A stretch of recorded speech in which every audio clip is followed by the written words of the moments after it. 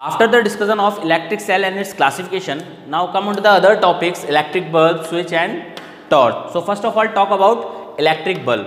So basically electric bulb is used to provide light. ये हमको क्या provide करता है Light provide करता है हमारे घर में लगा रहता है इलेक्ट्रिक बल्ब अलग अलग एलईडी बल्ब या नॉर्मल बल्ब्स लगे रहते हैं it consist of a transparent glass covering बाहर से आपने सबने बल्ब देख ही रखा है बाहर से उसका जो कवरिंग होती है कौन सी होती है ग्लास ट्रांसपेरेंट कवरिंग होती है okay it encloses a thin coiled metal wire known as filament made of tungsten अब आपने देखा होगा जो ट्रांसपेरेंट बल्ब होते हैं, उस ट्रांसपेरेंट बल्ब के अंदर एक पतला सा वायर रहता है। वो पतला सा वायर उसे हम बोलते हैं फिलामेंट क्या बोलते हैं? फिलामेंट और वो फिलामेंट किस चीज़ का बना होता है?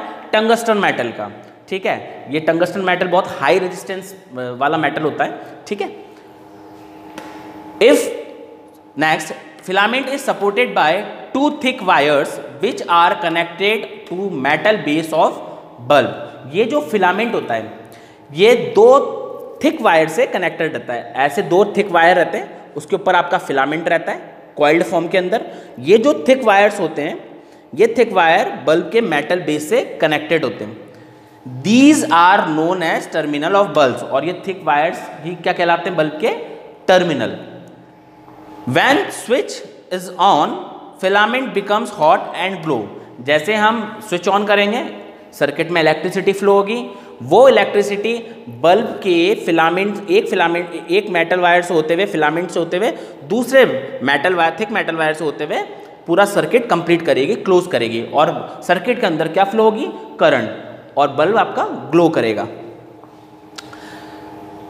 By this electric energy converted into light energy इससे क्या होगा? जो आपकी इलेक्ट्रिक एनर्जी है, जो आपने स्विच ऑन करके इलेक्ट्रिक एनर्जी दी है सर्किट में, जिस सर्किट में आपका बल्ब लग रहा है तो वो किसमें कन्वर्ट हो जाएगी? Light energy bulb will glow and convert in light energy now other topic switch so basically switch consist of two terminals that are internally connected to a thin metal strip basically जो switch है, वो दो terminals switch में दो terminals होते हैं, जो कि इंटरनली कनेक्टेड होता है। एक थिन मेटल बहुत पतली मेटल स्ट्रिप से एक मेटल स्ट्रिप होती है, उस पर उस पर दो टर्मिनल होते हैं। Okay it is use to operate an electric device ये इलेक्ट्रिक डिवाइस को ऑपरेट करने के लिए यूज़ में आता है, काम में आता है। इट मेक्स और ब्रेक्स द सर्किट ये सर्किट को बनाता भी है और ब्रेक भी करता है। यानी सर्किट को ओपन भी करता है क्लोज भी करता है। और we can say we can say that ये ऑन भी करता है सर्किट को और ऑफ़ भी करता है। वैन स्विच इज़ ऑन जब हम स्विच ऑन कंडीशन में रहता है करंट विल फ्लो सर्किट में क्या फ्लो होती है? Current when switch is off जब स्विच ऑफ़ रहेगा current will not flow in circuit current flow नहीं होगा सर्किट के अंदर। ये एक सिंबल है स्विच का, ठीक है? अभी ये क्या है? ये दो टर्मिनल हो गए।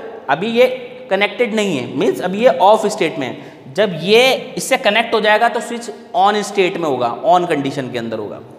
ना talk about last topic torch ये टॉर्च का एक डायग्राम है। इस टॉर्च के अंदर दो सेल्स लगे हुए हैं इलेक्ट्रिक सेल्स आपस में इंटरकनेक्टेड है। लास्ट वाला सेल स्प्रिंग के साथ कनेक्टेड है। टॉर्च के ऊपर स्लाइडिंग स्विच दिया गया है, जो स्लाइड करेगा।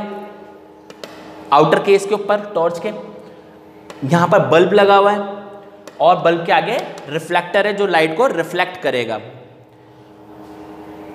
दो स्विच के जो नीचे दोनों तरफ़ से आगे बल्ब स्विच का नीचे आगे वाला एंड बल्ब से कनेक्टेड है और एक दूसरा वायर स्प्रिंग से कनेक्टेड है। ठीक है? तो यानी स्विच के दो एंड दो एंड्स हो गए, एक वायर बल्ब से और एक स्प्रिंग से।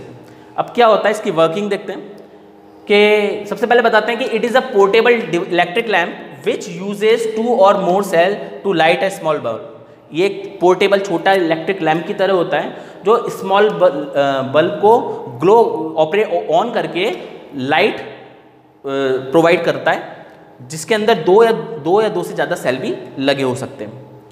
इन द ऑन पोजिशन जब ऑन कंडीशन होगी, यानी स्विच ऑन स्टेट में होगा the metal strip under the switch touches both the wire and the spring जब ये ऑन कंडीशन में होगा तो ये जो मेटल वायर है दो एक तो ये बल्ब से कनेक्टेड हो रहा है और ये दूसरा स्प्रिंग से कनेक्टेड हो रहा है। तो ये मेटल ऑन कंडीशन में मेटल स्ट्रिप दोनों स्ट्रिप्स को कनेक्टेड करेंगी वायर को भी और स्प्रिंग को भी, ठीक है? So it makes close path in torch तो इससे क्या बनेगा? एक क्लोज पाथ बन जाएगा और करंट हमेशा close path close and continuous path में ही फ्लो होगा। So it makes close path in torch which allows to electricity to flow through bulb जो कि करंट को अलाउ करेगा बल्ब में से फ्लो होने के लिए। The filament of bulb get hot and gives us light जब करंट फ्लो होगा तो बल्ब के अंदर का जो फिलामेंट है, वो क्या हो जाएगा? It will become hot and gives us light और हमें लाइट लाइट देगा।